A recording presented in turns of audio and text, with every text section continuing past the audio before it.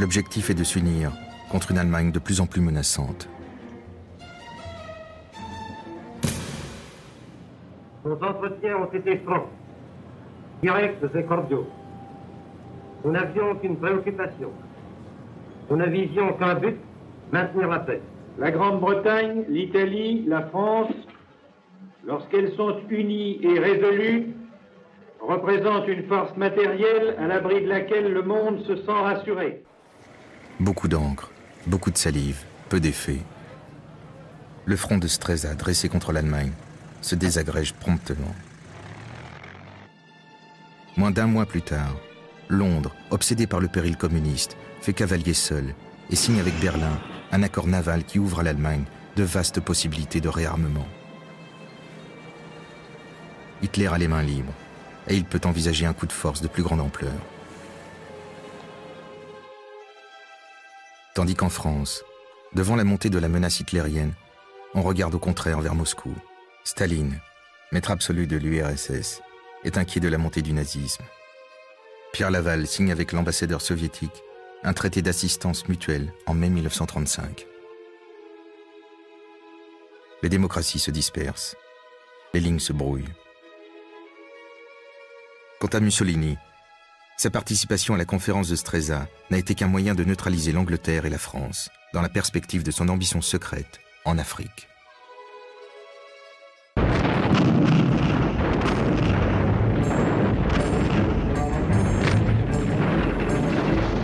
Le 3 octobre 1935, le Duce lance ses troupes à l'assaut de l'Éthiopie à partir de la Somalie italienne.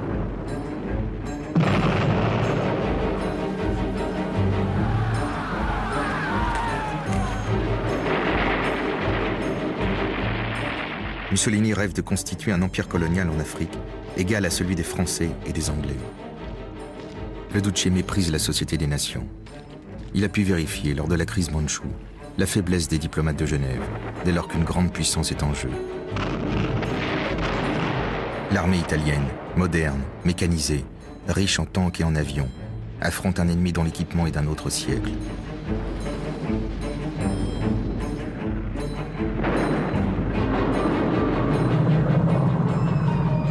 N'hésite pas à employer des gaz de combat pour venir à bout des soldats éthiopiens.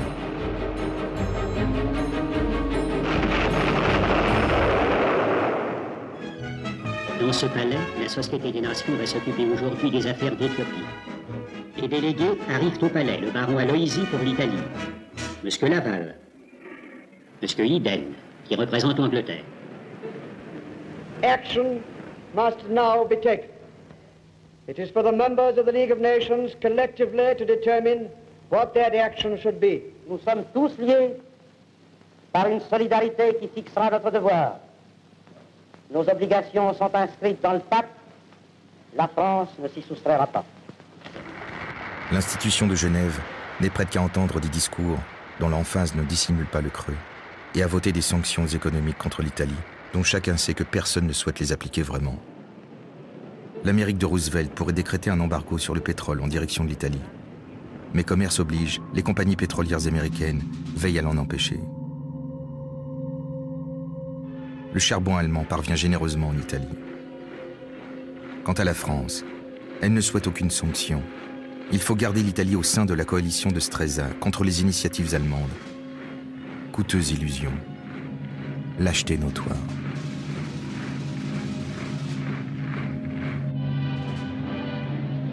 Définitive, les sanctions mineures que Genève peut imposer n'ont pour effet que de souder l'opinion italienne autour du Duce. Le peuple italien affirme de plus en plus sa volonté de résistance aux sanctions. Voici les femmes italiennes venant déposer sur l'autel de la patrie leurs alliances d'or.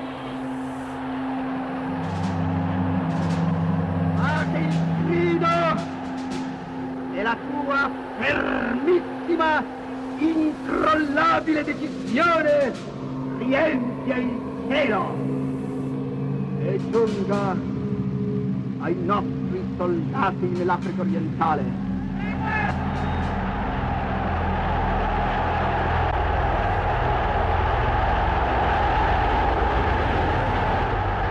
La passivité des démocraties est mortelle à long terme. Hitler compte bien en tirer avantage à son tour. Son mépris pour la Société des Nations est insondable. Il confie Ces gens rassemblés à Genève ne sont qu'un misérable troupeau. Ils n'agissent pas, ils se bornent à protester et toujours trop tard. Pour le vérifier, Hitler tente un coup de force. En mars 1936, il fait entrer 30 000 soldats sur la rive gauche du Rhin, qui était démilitarisée depuis 1919. Le traité de Versailles est en passe de devenir un chiffon de papier. La zone tampon qui devait assurer la sécurité de la frontière française n'est plus qu'un souvenir.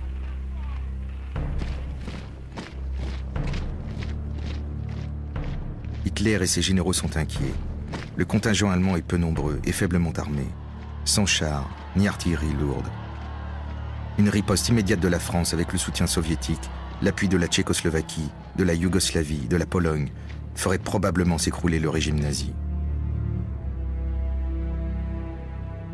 Mais les pays concernés se bornent à échanger des notes diplomatiques indignées sans que rien de concret ne suive. En France, Albert Sarrault, président du Conseil, fait à la radio une déclaration martiale. Nous ne sommes pas disposés à laisser placer Strasbourg sous le feu du canon allemand. Puis il rentre se coucher. Hitler remporte son coup de force, qui n'était en fait qu'un coup de bluff.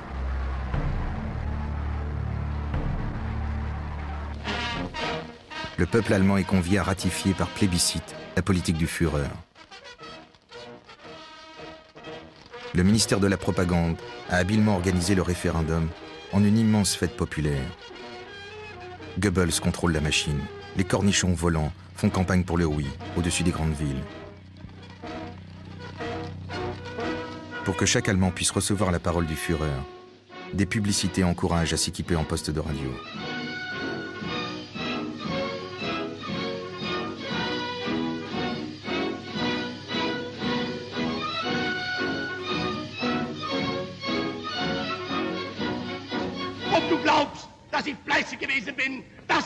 Gearbeitet habe, dass ich mich in diesen Jahren für dich eingesetzt habe? Wenn ja, dann tritt für mich ein, so wie ich für dich eingetreten La population allemande approuve la politique hitlérienne à 99% des suffrages. Ainsi peut-il méditer tranquillement des annexions territoriales.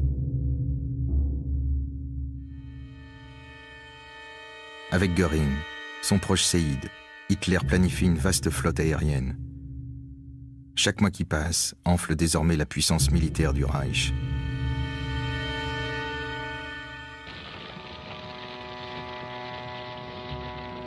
Pendant ce temps, en Éthiopie, le pilonnage italien arrive à son terme.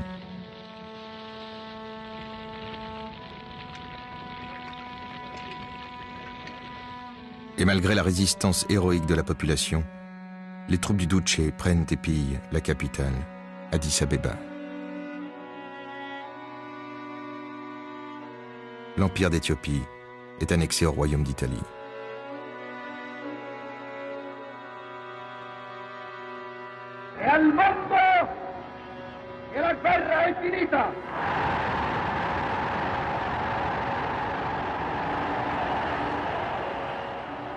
L'Etiopia è italiana!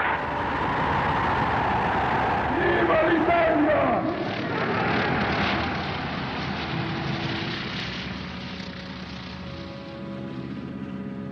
Le 30 juin 1936, le Négus Haïlé Sélassié, empereur d'Éthiopie, vient à Genève pour y plaider devant la Société des Nations la cause de son pays martyrisé. Ce discours que vous allez entendre va être prononcé en langue amharique.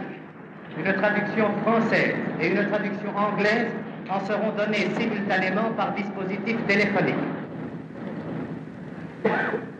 Monsieur le Président, Monsieur le... À peine monte-t-il à la tribune qu'il est sifflé par les journalistes italiens. Ensuite, une coupure de courant l'empêche de parler.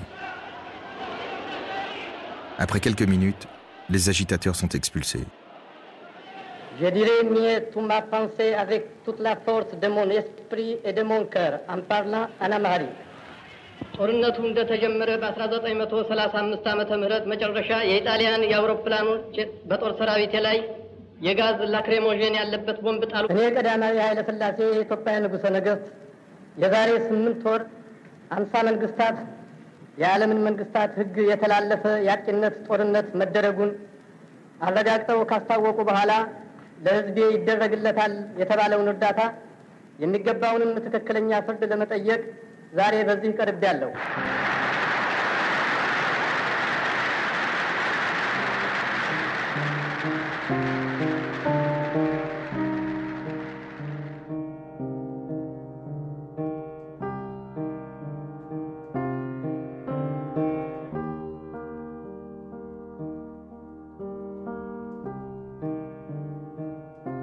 L'année 1936 marque en pratique la dislocation de la Société des Nations.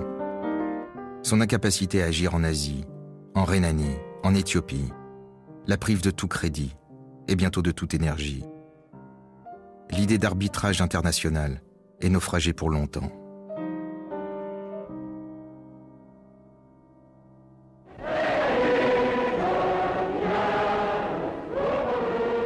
En France, en mai 1936, le Front populaire remporte les élections législatives. L'alliance électorale nouée deux ans plus tôt entre le Parti socialiste, le Parti radical et le Parti communiste soulève un immense espoir parmi les classes populaires.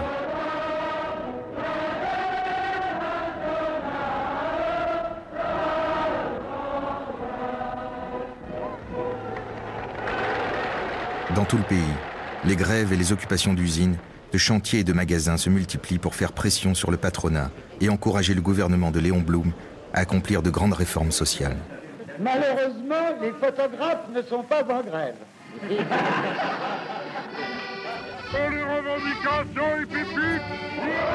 Ces grèves se déroulent de manière pacifique, dans l'allégresse et la joie.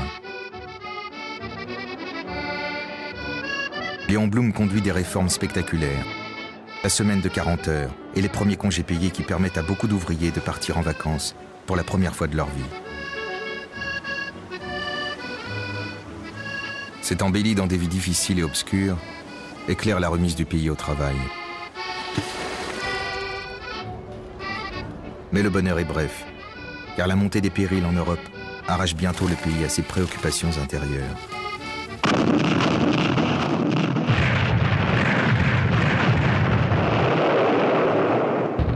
La guerre d'Espagne éclate en juillet 1936. Sur un mot d'ordre des généraux Franco et Sanjurjo, les garnisons se soulèvent dans tout le pays. Les rebelles n'ont pas accepté la victoire du Fronte Popular, une coalition de gauche qui a remporté les élections en février 1936. À l'annonce du soulèvement, une réaction populaire vigoureuse se lève contre le coup de force. Des milices ouvrières se constituent et s'arment tant bien que mal. La guerre civile commence.